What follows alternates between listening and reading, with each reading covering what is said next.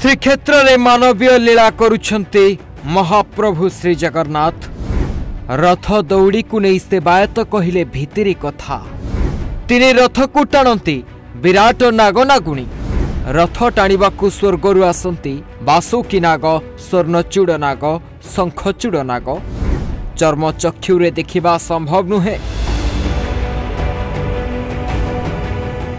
ହଁ ଦର୍ଶକ ବନ୍ଧୁ ଆପଣ ଠିକ୍ ଶୁଣିଲେ ଏକଥା ଆମେ କହୁନୁ ଏକଥା କହୁଛନ୍ତି ଖୋଦ୍ ସେବାୟତ ଶୁଣନ୍ତୁ ଏ ନେଇ କ'ଣ କହୁଛନ୍ତି ସେବାୟତ ତାଳଧ୍ୱଜ ରଥ ତାର ରଥ ରଜ୍ଜୁ ରହିଥାନ୍ତି ବାସୁକୀ ନାମକ ସର୍ପ ଯିଏକି ପୃଥିବୀକୁ ନିଜ ମଥାରେ ଧାରଣ କରିଛନ୍ତି।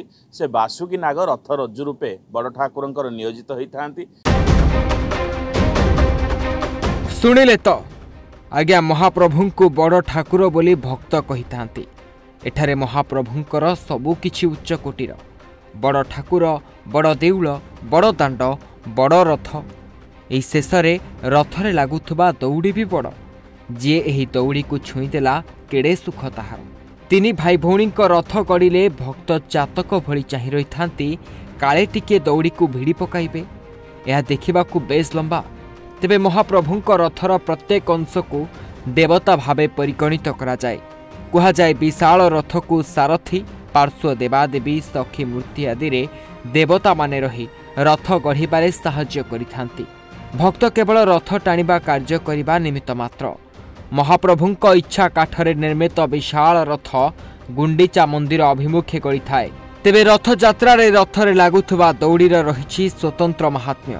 ଶାସ୍ତ୍ର ବର୍ଣ୍ଣନା ଅନୁଯାୟୀ ତିନି ରଥକୁ ବିରାଟ ନାଗ ଓ ନାଗୁଣୀ ଟାଣି ନେଇଥାନ୍ତି ଯାହାକି ସାଧାରଣ ଭକ୍ତଙ୍କ ଚର୍ମଚକ୍ଷୁରେ ଦେଖିବା ସମ୍ଭବ ହୋଇନଥାଏ। ତେବେ ମହାପ୍ରଭୁଙ୍କ ଚୁନରା ସେବାୟତ କୁହନ୍ତି ପ୍ରଭୁ ବଳଭଦ୍ରଙ୍କ ରଥକୁ ବାସୁକୀ ନାଗ ଦେବୀ ସୁଭଦ୍ରାଙ୍କ ରଥକୁ ସ୍ୱର୍ଣ୍ଣଚୂଡ଼ ନାଗ ଓ ମହାପ୍ରଭୁ ଶ୍ରୀଜଗନ୍ନାଥଙ୍କ ରଥକୁ ଶଙ୍ଖଚୂଡ଼ ନାମକ ନାଗ ସ୍ୱର୍ଗରୁ ଆସି ରଥ ଦୌଡ଼ି ଆକାର ଧାରଣ କରି ମହାପ୍ରଭୁଙ୍କ ରଥତ୍ରୟକୁ ଆଡ଼ପ ମଣ୍ଡପ ଅଭିମୁଖେ ଟାଣି ନେଇଥାନ୍ତି। ତେବେ ଶାସ୍ତ୍ରରେ ବର୍ଣ୍ଣନା ଅନୁଯାୟୀ ଯେଉଁ ଭକ୍ତ ମହାପ୍ରଭୁଙ୍କ ରଥଯାତ୍ରାରେ ସାମିଲ ହୋଇ ରଥ ଟାଣିଥାନ୍ତି ସେମାନେ ଚଉରାଅଶୀ ଜୁନି ଜନ୍ମ ମୁକ୍ତି ଲାଭ କରିବା ସହ ଅନେକ ପୁଣ୍ୟ ଲାଭ କରିଥାନ୍ତି। ତେଣୁ ଏ ରଥର ଯେଉଁ ରଜ୍ଜୁ ଏମାନେ ଆଉ କେହି ନୁହନ୍ତି। ବଡ଼ ଠାକୁରଙ୍କର ତାଳଧ୍ୱଜ ରଥ ତାର ରଥ ରଜ୍ଜୁ ରହିଥାନ୍ତି ବାସୁକୀ ନାମକ ସର୍ପ ଯିଏକି ପୃଥିବୀକୁ ନିଜ ମଥାରେ ଧାରଣ କରିଛନ୍ତି। ସେ ବାସୁକୀ ନାଗ ରଥ ରଜ୍ଜୁ ରୂପେ ବଡ଼ ଠାକୁରଙ୍କର ନିୟୋଜିତ ହୋଇଥାନ୍ତି।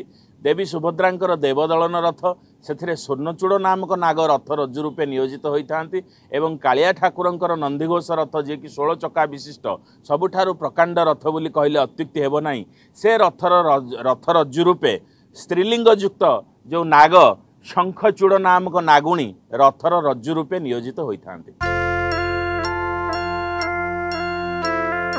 ତେବେ ରଥଯାତ୍ରା ପାଇଁ ଆବଶ୍ୟକ ହେଉଥିବା ଦୌଡ଼ି ପୁରୀ ଜିଲ୍ଲା ସାକ୍ଷୀ ଗୋପାଳରେ ଥିବା ଓଡ଼ିଶା କତା ଶିଳ୍ପ ନିଗମ ଯୋଗାଇ ଆସୁଛି। ପ୍ରତିବର୍ଷ ତିନି ରଥ ପାଇଁ ଚଉଦଟି ଦୌଡ଼ି ଆସିଥାଏ। ପ୍ରତି ରଥରେ ଚାରୋଟି ଲେଖାଏଁ ଦୌଡ଼ି ରଥ ଟାଣିବା ପାଇଁ ବ୍ୟବହାର ହୋଇଥାଏ। ଦୁଇଟି ଦୌଡ଼ି ଅଧିକ ରଖାଯାଇଥାଏ। ତେବେ ଏହି ଦୌଡ଼ି ନିର୍ମାଣ ଶୈଳୀ ଅନ୍ୟ ଦୌଡ଼ି ଅପେକ୍ଷା ଭିନ୍ନ ଓ ସ୍ୱତନ୍ତ୍ର। ସମ୍ପୂର୍ଣ୍ଣ କତାରେ ଏହି ଦୌଡ଼ି ନିର୍ମାଣ ହୋଇଥାଏ। ପ୍ରତ୍ୟେକ ଦୌଡ଼ି ଦୁଇଶହ କୋଡ଼ିଏ ଫୁଟ ଲମ୍ବ ଓ ଆଠ ଇଞ୍ଚ ଗୋଲେଇ। ଏହା ବେଶ୍ ଦୃଢ଼ ଓ ଶକ୍ତ। ତେବେ ପୂର୍ବରୁ ସୁଦୂର କେରଳରୁ କତା ଦୌଡ଼ି ରଥ ପାଇଁ ଆସୁଥିଲା। ତେବେ ଗତ ଦଶ ବର୍ଷ ହେବ ତାହା ବନ୍ଦ ହୋଇଯାଇଛି। କେରଳ ପରିବର୍ତ୍ତେ ପୁରୀ ସାକ୍ଷୀଗୋପାଳରେ ଥିବା ଓଡ଼ିଶା କତା ନିଗମ ପ୍ରତିବର୍ଷ ନୂଆ ଦୌଡ଼ି ପ୍ରସ୍ତୁତ କରି ଶ୍ରୀମନ୍ଦିର ପ୍ରଶାସନକୁ ଯୋଗାଉଛି।